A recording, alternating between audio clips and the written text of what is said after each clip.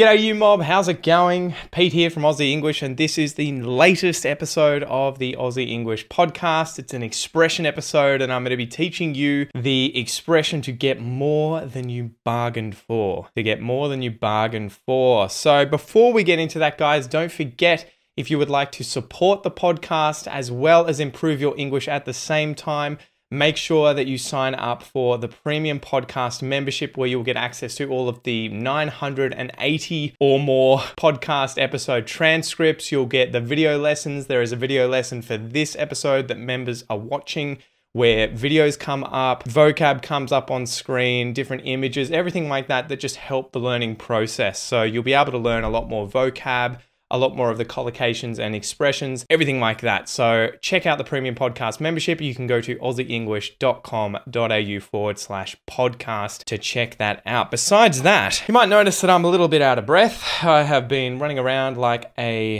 headless chook. That's a good expression for you. To run around like a headless chook chicken is I guess the idea that you're running around like crazy. You're doing a lot of different things, but it's kind of like doing it like crazy. I have just been out in the living room running around with my son. So he has got a lot of energy today, and I'm trying to wear him out before later when he goes to bed in about three hours. So fingers crossed. Might be a little earlier if I did my job well. But yeah, that's an expression for you to run around like a headless chook. To run around like a headless chook. Anyway, guys, let's get into today's news story. All right, so a 60 year old Austrian man has gotten more than he bargained for this week while sitting on the loo. After sitting on the toilet and commencing one of nature's most private acts, the man suddenly felt a pinch on his genitals. When he stood up to inspect the surprising incident, he discovered something as bizarre as it was horrifying. An albino python was staring back up at him from inside the toilet bowl. It turns out the python had escaped from a neighbor's house and taken up residence in the Austrian man's dunny. The bitten. Can I help you? Are you going to come in and say hello? come here. Come on. Come here, mate. Huh? You want, to, you want to play with the cars? this is the problem, guys, when your son suddenly works out how to open doors. We just he just interrupted the news story, mate. But are you gonna say hello? G'day. he doesn't know where he's waving. You're waving here at that. You see yourself? See yourself? Say hello? You say hello? Are you gonna yeah. say hello?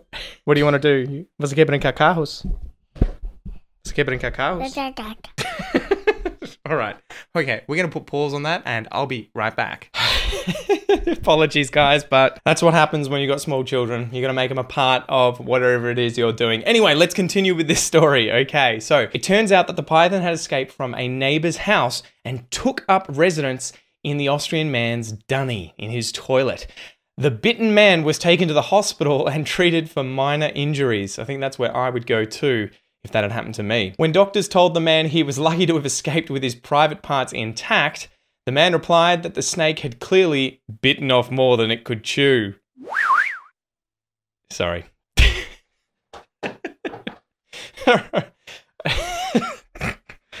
oh man. Uh, I'm sorry, guys. My jokes are horrible. Anyway, so that was an interesting story. I thought I had to include it, even though it was about an Austrian and not an Australian. Anyway, slap the bird and let's get into today's joke.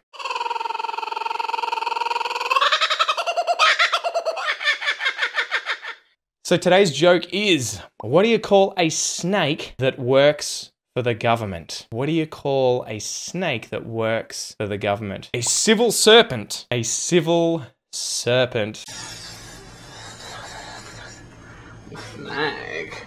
All right, so the pun here is obviously on the word serpent versus servant. Servant. If you are a civil servant, you are someone who serves the population of a country, a civil servant you work for the government. So a snake that works for the government is a civil serpent. Oh man. Jesus, I'm waiting for one of those huge, what are they like, um, hooks to just come out and take me off the stage. All right, so today's expression is to get more than you bargained for. To get more than you bargained for. Before we go through what this expression is, where it came from, and some examples of the expression, let me break down the words in the expression more than you bargained for. So, more. More is a greater or additional amount or degree of something. Maybe after you finish dinner, you want more dinner. You want a second serve. You want a second helping. Or maybe you get dessert and you would like some extra dessert. You would like some more dessert. Than. Than is used to introduce a second element in a comparison. So this is more than this. This is bigger than this. It's a comparison word. Can word. I don't know. You're the English teacher, Pete. you. You is the second person pronoun. You guys will know you. And lastly, bargain. More than you bargain for. More than you bargain for. So it's being used as a verb here. It is to negotiate the terms and conditions of a transaction. So if you go to a market, you might bargain with someone who's selling something who wants to sell it for, say, $100, and you say, oh, I might give you $50. What do you say? And they'll say, ah, nah, screw that, mate. I'm not giving it to you for 50 bucks. This thing cost me like $80. You know, I'm, I, I need to get a profit. So you're going to have to give me 90 bucks. You end up bargaining and getting it for $80. And if we want to turn it into a noun, you just got yourself a bargain. You bargained for a bargain. So the definition of the phrase more than you bargained for, if you get more than you bargained for, it is that you get an unexpected outcome, especially one that is unfavorable, that is not good. You get more than you bargained for. It's almost like more than you wanted, more than you could handle, more than you could deal with, more than you thought you would get you got more than you bargained for. So, where did this come from? I tried looking into this, and it seems like it dates back to at least the 1800s, where it first appeared in Frederick Marryat's Olla Podrida in 1840. Quote, more wind than we bargained for. So you can imagine the literal idea is that you received more than you wanted when you were bargaining for something. And figuratively, obviously, it's when you get more of something that you would like. You know, the amount you get is undesirable. So, as usual, let's go through three examples of how I would use this expression in everyday English. Example one, imagine you're organizing a dinner with your grandparents. They're going to come over, they're going to visit you, and you're the one who's got to cook up some grub, right? You're going to do a lamb roast and it's going to be incredible. You're going to have some potatoes, some tomatoes, carrots, pumpkin, along with a lamb hock, right? The, the leg of a lamb. So you go out and buy all the veggies, you get the gravy, you get the lamb, and then when you get home and try and organize the food and put it in the oven, Suddenly, the doorbell rings, and it turns out instead of just your nana and your grandfather showing up, you've got your uncles, your aunties, your nephews, your nieces, your cousins. Every man and his dog in your family has shown up, and you've got like 40 people. You were just expecting your grandparents, so you got more than you bargained for. You weren't planning to feed so many people. It is an unexpected and undesirable result. It is more than you bargained for. Example number two. So imagine you go on what you think is going to be a really relaxing and fun holiday. So maybe you're camping in the sticks, right, in the outback, out in the bush in Australia. You take your family, your dog, you pack the tent into your four wheel drive, you bring your sleeping bags, you bring food, you bring everything that is, you know, going to make the holiday a great, great time. When you get to the campsite and you set up shop, you pitch your tent, you start a fire, you start cooking up some grub, cooking up some food, then you kick back and relax in one of those nice camping chairs, you know, where it's got a little stubby holder on the side that you can put your beer in. And just as you do that, it starts pissing down raining. You all have to hurry inside the tent, and the tent floods because of all the rain, this torrential downpour. And so you end up having to get your entire family and the dog and sleep in the car instead. Okay, so you got more than you bargained for. The trip was more than you bargained for. It was raining, it was unfavorable, it was undesirable. You got more than you bargained for. It was more than you wanted. Example number three Kel and our kids are a great example. After we had Noah, we thought all kids were going to be like him, right? He was easy to put to sleep.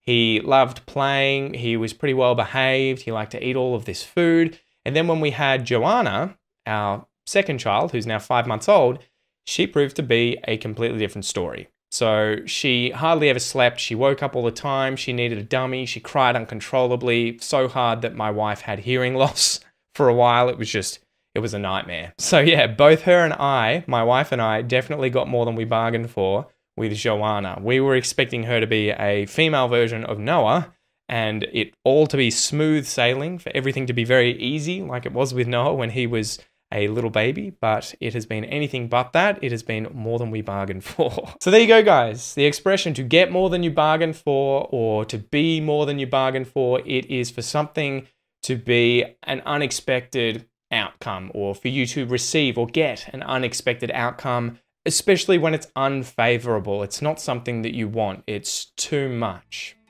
So as usual, let's go through a little pronunciation exercise where you guys can work on your English pronunciation. So let's go.